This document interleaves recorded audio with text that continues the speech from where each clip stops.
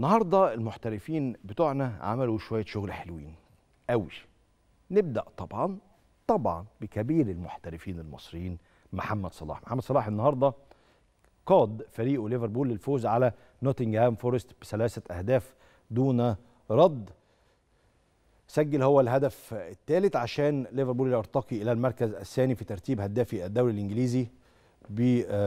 هو اللي يرتقي بقى إلى المركز الثاني في ترتيب الدوري هداف الدوري الإنجليزي بثمان أهداف خلف إيرلينج هالاند بفارق هدف وأصبح محمد صلاح بهذا الهدف ثالث لاعب في تاريخ ليفربول يسجل خلال أول خمس مباريات على ملعب أنفيلد بعد هاري آه، تشامبرز وجون ألدريدج حيث سجل صلاح في شباك بورنموث وأستون فيلا وست هام يونايتد وإيفرتون ونوتنغهام وفعلها قبله هاري تشامبرز في عام 1922 وكذلك جون ألدريدج اللي فات ده كان محمد صلاح. اللي جاي ده بقى حكاية.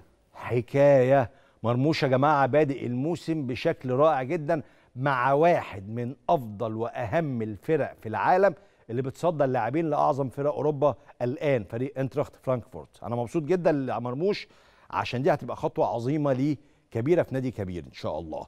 مرموش النهارده سجل هدفين في تعادل فريقه آينتراخت فرانكفورت مع مين؟ مع بروسيا دورتموند واحد من أكبر فرق ألمانيا. المباراة خلصت 3 3 لكل فريق. هو اللي أحرز الهدف الأول في الدقيقة الثامنة من ضربة جزاء وسجل الهدف الثاني في الدقيقة 24 عشان يصل عدد أهداف مرموش في الموسم الحالي في الدوري البوندسليجا. أربع أهداف وفي آه، بشكل عام يعني في كل البطولات مسجل 8 أهداف مع فريقه انتراخت فرانكفورت. هو مسجل أربعة في الدوري وثلاثة في دوري المؤتمر وهدف في كأس ألمانيا. النهارده حمدي فتحي شارك في فوز فريقه الوكرة القطري على أم صلال بهدفين دون رد في مسابقة الدوري ولعب المباراة كاملة لكنه لم يصنع أو يسجل لكن عمل مباراة كبيرة والصورة دي حلوة كمان قوي بالكوفية كوفية آه، فلسطين.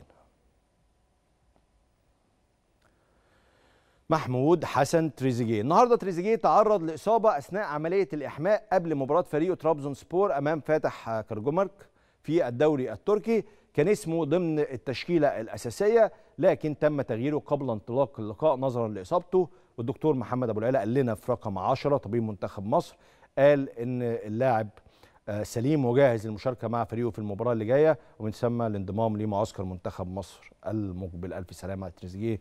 مستنيينك طبعا مع المنتخب.